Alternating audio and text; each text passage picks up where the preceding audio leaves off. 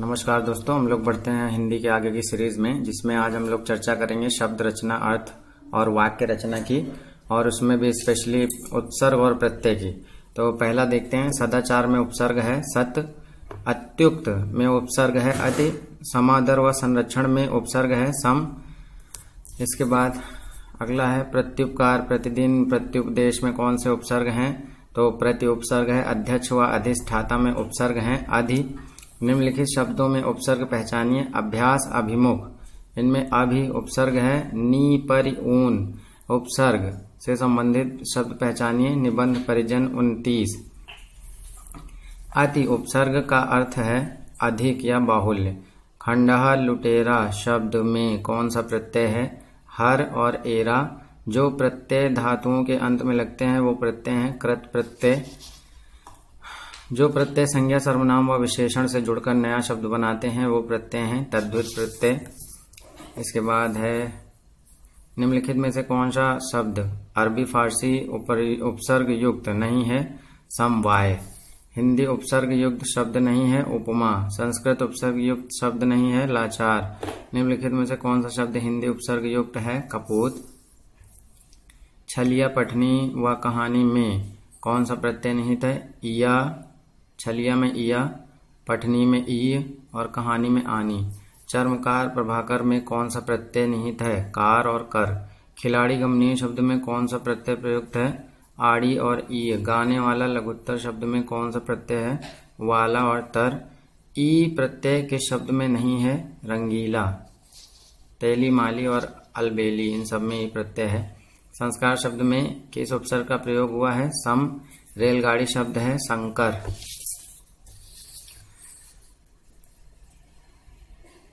क्रदंत प्रत्यय किन शब्दों के साथ जुड़ते हैं? क्रिया के साथ। वे अविकारी शब्द जो दो शब्दों, वाक्यों और वाक्य खंडों को जोड़ते हैं, कहलाते हैं क्रिया। अलमारी किस विदेशी भाषा का शब्द है? पुर्तगाली भाषा का शब्द है। पांडव शब्द में कैसा प्रत्यय है? तद्वित प्रत्यय। रिक्शा शब्द में किस भाषा का है? रिक्शा शब्द जापानी है।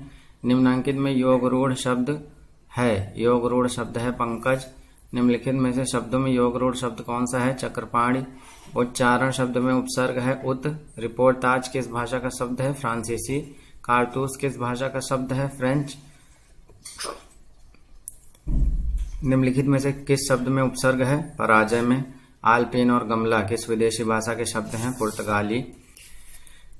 इसके अलावा वकील किस भाषा का शब्द है? अरबी का संकर शब्द है। दो भाषाओं के शब्दों से मिलकर बना शब्द। जिन दो शब्दों की उत्पत्ति का पता नहीं चलता उन्हें कहा जाता है देशज। निम्न शब्द युग्मों में से कौन सा असंगत है? कारतूस, अंग्रेज़ी। योग रोड शब्द कौन से है? दशानन। लौकिक शब्द में प्रत्यय है इक। सूची का मिलान करना है तो पहला, खचाखच देशज शब्द है मुरलीधर। योग रोड शब्द है टिकट घर शंकर शब्द है सांप। तदभो शब्द है। रचना के आधार पर वाक्य के भेद हैं तीन। अविधा शब्द में शक्तियों में वाच्यार्थ प्रकट होता है। दो भिन्न भाषाओं के मेल से बना शब्द संकर कहलाता है। अगला है, निम्नलिखित में से योग रूढ़ शब्द चुनिए। चक्रपाण योग रूढ़ शब्द है। घुड़सवार शब्द में से क्या है? यौगिक रूढ़ है। यौगिक शब्द है घुड़सवार। अजायब घर है। संकर शब्द। वर्णों के उस समूह को जिससे कोई निश्चित अर्थ निकलता हो कहा जाता है शब्द।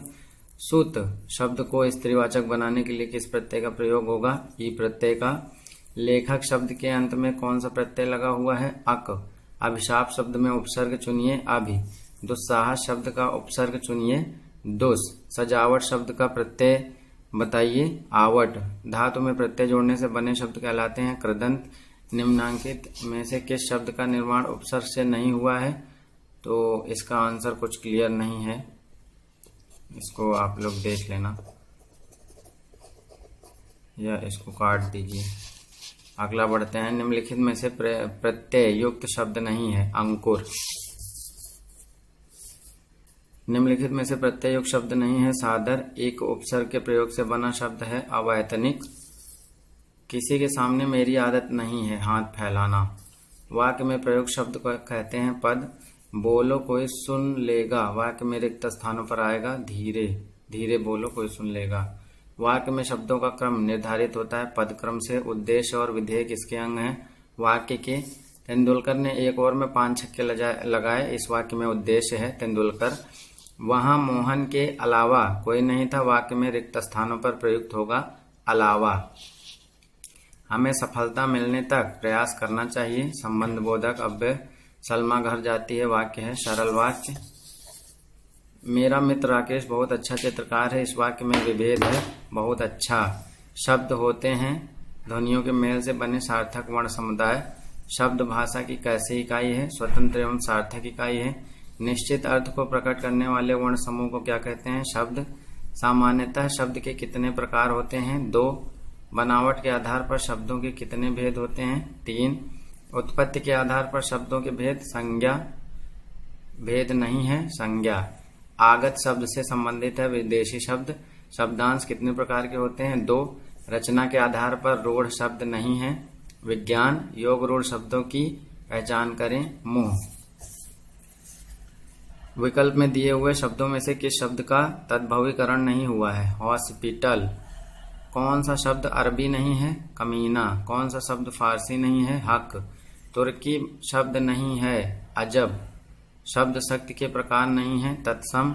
चार विकारी शब्द से संबंधित भेद नहीं है। समुच्चय बोधक। जिन शब्दों को शब्द जिन शब्दों कोई बदलाव नहीं आता, वह है अविकारी शब्द। निम्नलिखित में से पुनरुक्त और द्विरुक्त। शब्द कौन सा है? साथ साथ तो ये था हिंदी का तद्भव तत्सम। और शब्द रचना, वाक्य अर्थ, वाक्य रचना, इसको आप लोग तैयार करते रहिए। आगे इसी तरह से मैं पर डे कुछ क्वेश्चंस लाता रहूँगा तो इसमें इतना ही, धन्यवाद।